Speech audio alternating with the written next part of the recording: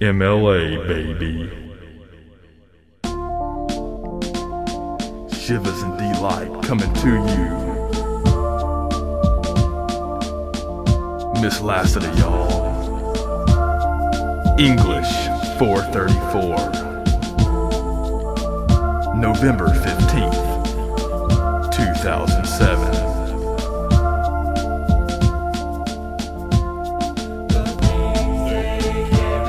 Not just things you can see. Every man carried a different story. So many pounds over so many miles, laughing at the same jokes and faking the same smiles. They fought the urge to cry, run away, or give up, knowing that they might die. Dodging bullets and bombs, that's how you carry yourself when you're fighting in Vietnam. Let's meet First Lieutenant Jimmy Cross. In this platoon, he's what you call the boss.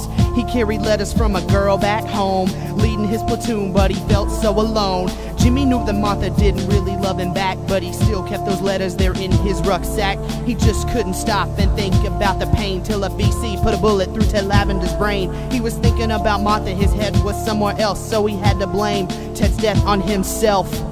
That night, a part of him died. He dug himself a hole where he cried and cried. He now carried the weight of another man's death because of his daydreams. Ted breathed his last breath, not to mention the weight of unrequited love. Is this really the life he'd been dreaming of?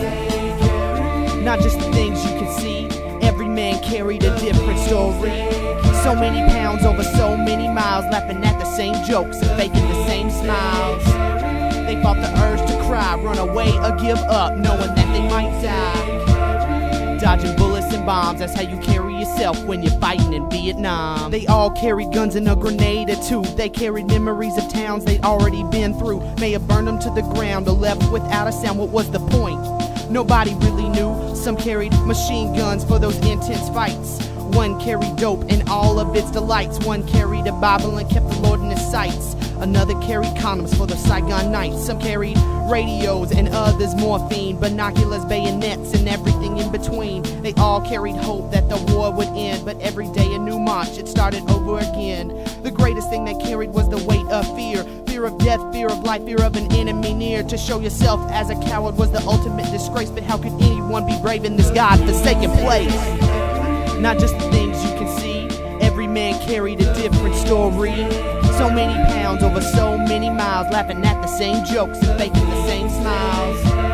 They fought the urge to cry, run away, or give up, knowing that they might die. Dodging bullets and bombs, that's how you carry yourself when you're fighting in Vietnam. Not just the things you can see, every man carried a different story. So many pounds over so many miles, laughing at the same jokes, faking the same smiles. They fought the urge to cry, run away, or give up, knowing that they might die. Dodging bullets and bombs, that's how you carry yourself when you're fighting in Vietnam.